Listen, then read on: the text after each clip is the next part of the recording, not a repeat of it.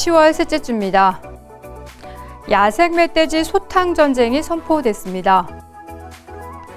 총기 사용 포획이 가능해져 산행 시 안전 특히 유의하셔야겠습니다.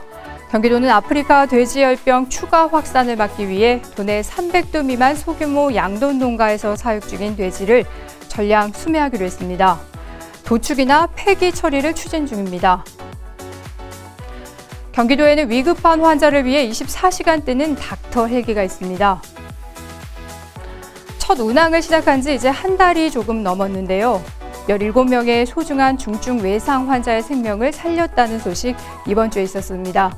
지난 한 달간 그러니까 2, 3일에 한 명씩 생명을 구한 셈입니다. 민선식이 경기도의 이색 사업인 정책마켓이 열렸습니다.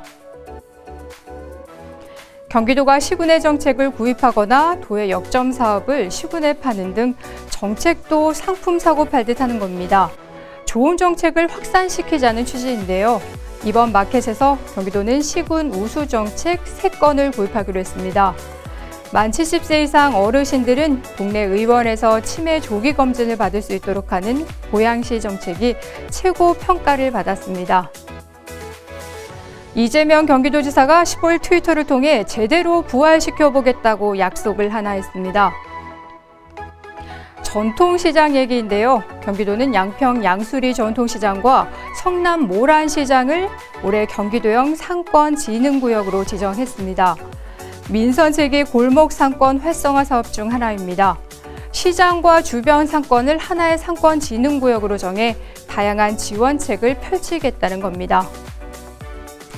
경제성 부족으로 답보 상태에 놓였던 포천 고머리의 디자인 클러스터 조성 사업이 민간 합동 개발 방식으로 새 날개를 달았습니다.